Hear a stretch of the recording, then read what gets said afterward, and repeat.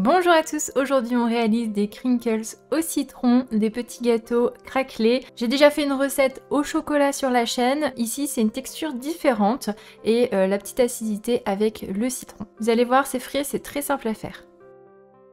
Il vous faut de la farine, du sucre, du beurre fondu, un œuf, de la levure chimique, du jus de citron, une pincée de sel.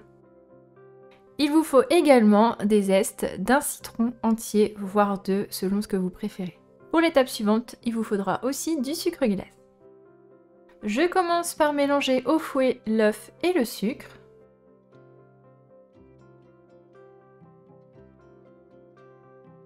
Ensuite, j'y ajoute le beurre fondu et je mélange de nouveau.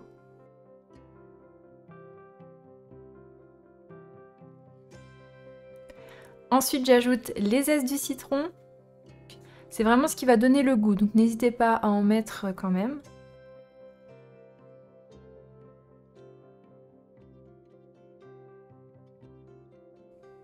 Ensuite, j'ajoute le sel, la levure chimique et la moitié de la farine je mélange.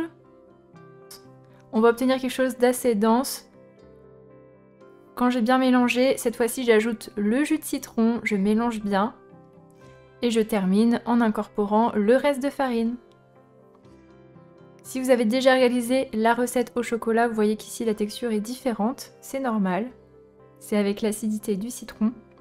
On filme au contact. Ensuite, je la mets au réfrigérateur euh, plusieurs heures, 4 heures dans l'idéal.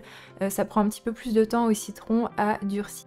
Si elle est trop collante, vous allez avoir du mal à faire euh, les boules, tout simplement. Une fois la bonne texture, je vais prendre des petits morceaux de pâte, environ 25 grammes par exemple. Vous boulez la pâte dans vos mains.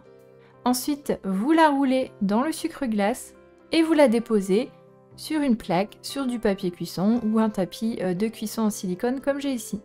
On réalise toutes les petites boules de pâte et ensuite on enfonce dans un four préchauffé à 170 degrés pendant 15 euh, minutes environ.